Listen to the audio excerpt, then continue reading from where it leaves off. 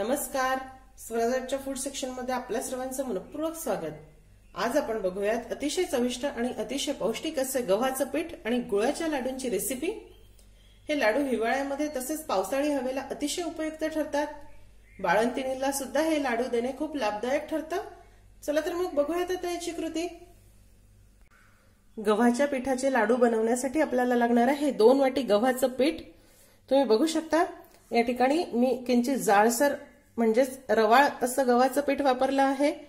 तुमच्याकडे जर हे जाडसर पीठ नसेल तर तुम्ही दीड वाटी नेहमीचंच गव्हाचं पीठ ज्या पिठापासून आपण पोळ्या बनवतो ते पीठ आणि अर्धी वाटी बारीक रवा मिक्स करा. मिक्सरमध्ये त्याला एक दोन वेळा थोडं फिरवून घ्या म्हणजे पीठ अगदी सारखं एकजीव होईल. आणि सव्वा ते दीड वाटी गुळ. गुळ हा नेहमी करता किसणीवर किसून घ्या. आणि ऑर्गॅनिक म्हणजेच हा लालसर गुळ वापरा. गुळ हा किसणीवर किसल्यामुळे हा खूप मऊ होतो आणि यामध्ये गुळाचे खडे राहत नाही. गुळ किसताना जर काही कचरा असेल तर तो आवर्जून काढून टाका. त्यानंतर आपल्याला लागणार आहे साधारण सव्वा वाटी साजूक तूप अर्धी वाटी किसलेलं सुकं खोबरं दोन ते तीन टेबलस्पून काजू आणि बदामची भरड अर्धा टेबलस्पून सुंठेची पूड आणि अर्धा टीस्पून वेलची पूड. सर्वप्रथम कढईमध्ये सुकं खोबरं भाजून घेऊया. लाडूसाठी खोबरं भाजताना त्यामध्ये थोडस तूप घालावं. म्हणजे ते अगदी सारखं भाजलं जातं. आता अगदी मंद गॅसवर हे खोबरं हलक्या तांबूस रंगावर आपण भाजून घेऊया. अतिशय साधी आणि सोपी पद्धत आहे याची. माझ्या आजीने मला हे लाडू शिकवले आहे. हे बघा सुकं खोबरं हे अगदी हलक्या तांबूस रंगावर भाजून झालं. आता आपण हे काढून घेऊया. त्यानंतर याच कढईमध्ये गव्हाचं पीठ घालूया. यामध्ये आवश्यकतेनुसार तूप आपल्याला घालायचं आहे. एकदा सर्व तूप घालू नका. तुपाचा अंदाज चुकू शकतो. आवश्यकतेनुसार लागेल तसं थोडं थोडं तूप घाला.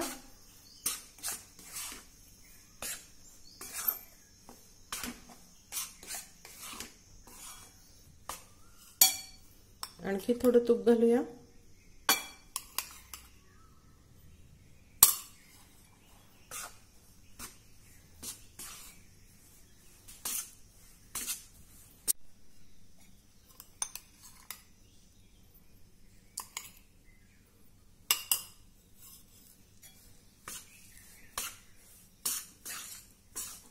आता मंद गॅसवर हे गव्हाचं पीठ आपल्याला व्यवस्थित भाजून घ्यायचं आहे.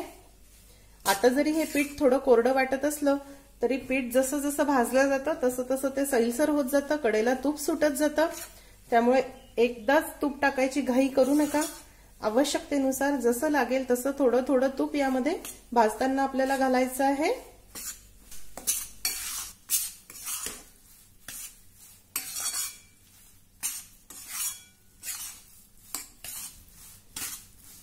हे बघा हे गव्हाचं पीठ अगदी व्यवस्थित भाजून झालं आणि मंद गॅसवर हे पीठ भाजण्यासाठी मला साधारण अठरा ते वीस मिनिट लागले आहे.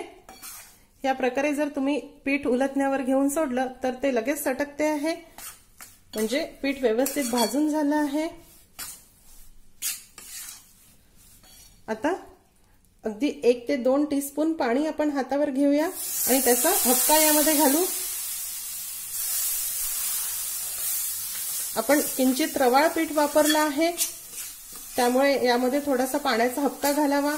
म्हणजे लाडू कचकच होणार नाही व ते पीठ छान फुलून वरती येईल. हे बघा याप्रमाणे ज्या प्रकारे आपण बेसन पिठाला हपका मारतो त्याच प्रकारे याला सुद्धा पाण्याचा थोडा हपका मारा.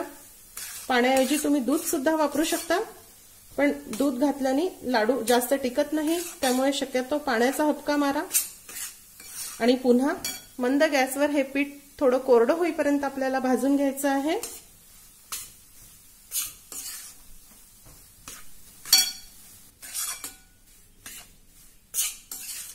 हे बघा हपका मारल्यानंतर आपण हे थोडं भाजून घेतलं आणि आता हे पीठ थोडं कोरडं झालं आहे. यामध्ये काजू आणि बदामची भरड घालूया.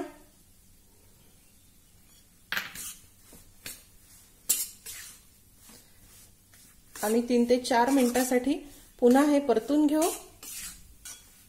गॅसची फ्लेम अगदी मंदच ठेवा. तुम्ही बघू शकता हे पीठ व्यवस्थित भाजून झालं.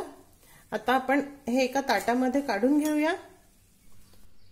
इथे मोठ्या परातीमध्ये हे मिश्रण काढून आपल्याला थंड होण्यासाठी बाजूला ठेवून द्यायचं आहे. नॉर्मल टेम्परेचरला येईपर्यंत हे मिश्रण आता पूर्णपणे थंड झालं आहे. आता यामध्ये सुंठ पावडर सुंठ पावडरची खूप छान चव येते या लाडूला. वेलची पूड. आवश्यकतेनुसार गुळ घालावा.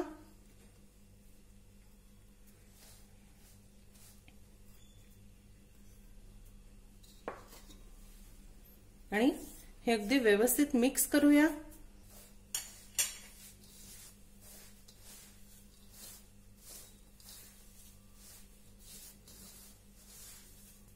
गुळ हा नेहमी करता किसून घ्यावा आणि हे मिश्रण पूर्णपणे गार झाल्यानंतरच गुळ मिक्स करावा.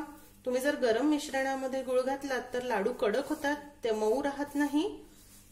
ही अगदी महत्वाची गोष्ट आहे. आवर्जून लक्षात ठेवा.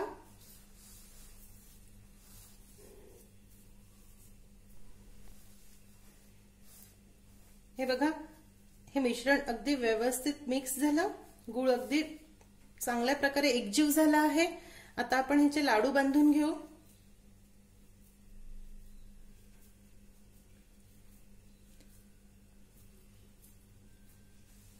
हे बघा.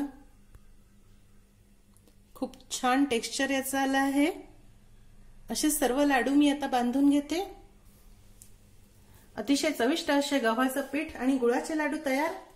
हे लाडू कोरड्या हवाबंद डब्यामध्ये ठेवा. पंधरा ते वीस दिवस सुद्धा सहज टिकतात. खूप पौष्टिक आहेत. नक्की करून बघा. आणि तुम्हाला जर माझी याची रेसिपी आवडली असेल तर रेसिपीला लाईक करायला व शेअर करायला विसरू नका. माझ्या चॅनलला सुद्धा नक्की सबस्क्राईब करा. अशीच एक छानशी रेसिपी घेऊन भेटूया स्वराजटच्या पुढच्या भागामध्ये. तोपर्यंत चवीनी खा आणि निरोगी रहा.